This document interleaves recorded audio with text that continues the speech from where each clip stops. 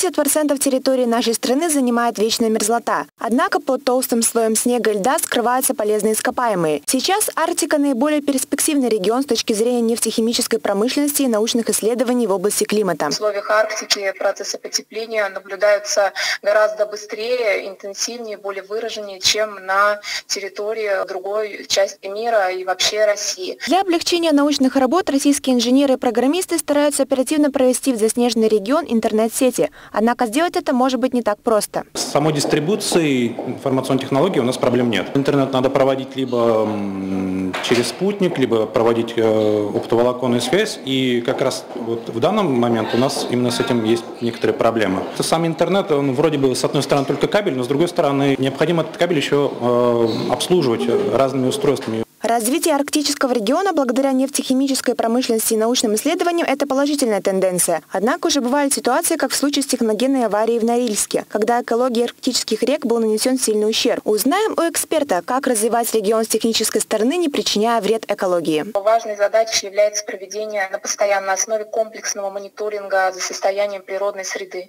Нужно абсолютно отслеживать все, и состояние водных ресурсов, и состояние почв, состояние атмосферного воздуха. Помимо мониторинга, мониторинга э, проводить работу по расширению сети особо охраняемых природных территорий. Напомним, что Владимиром Путиным утверждена стратегия развития арктической зоны России. Программа действует до 2035 года и направлена не только на оснащение городов и поселков и необходимой инфраструктурой, но и на сохранение уникального природного наследия данного региона. Федосия Ершова, Фарид Захитаглы, Univer News.